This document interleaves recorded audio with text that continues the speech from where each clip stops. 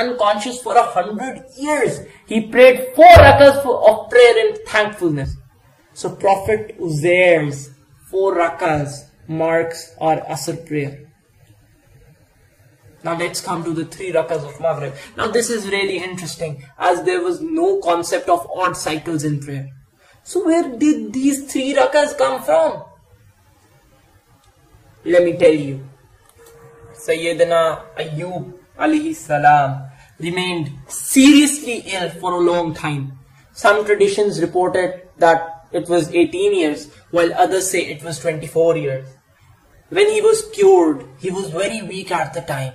He stood up to pray to show gratitude towards God. Now, he intended to pray four rakas, but when he reached three, he was so weak he couldn't stand up for the fourth. He left the fourth and completed the prayer with three. As soon as he had finished, a voice from the heavens was heard. Although he left the fourth cycle because of his weakness, but it was almost sunset, and so the whole Ummah will celebrate his three cycles to the day of judgment.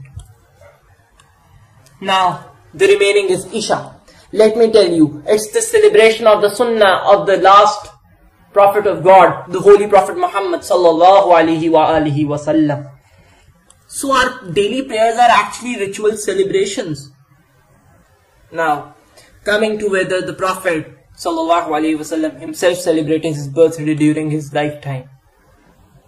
Yes, although this is a very broad topic, but time is running out, so I'll quote quickly. This, this comes in a Sahih Hadith of Sunan Bihaqi that the Holy Prophet wasallam on, on that specific day, on his birthday in Medina, slaughtered two animals, called the people, prepared food and distributed it. It was a party. He arranged a dinner for the people. And this hadith, remember, is never refuted because scholars have derived some other jurisprudential arguments from, from it.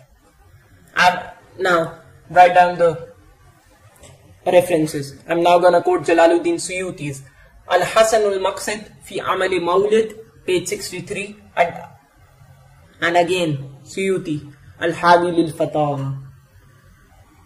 Imam Zurkani, Sharhul Mawahib, and then Ahmad and many other scholars. Now, what, what, what does Imam Jalaluddin Suyuti write? Imam Jalaluddin Suyuti answers the refuters of Mawlid. He says, then what was this celebration that day? He says categorically, this was the celebration of his Mawlid, Milad, birthday.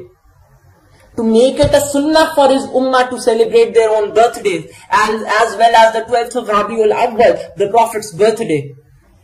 Now, then Imam Jalaluddin Suyuti says, Hafiz Ibn Hajar al-Asqalani was asked.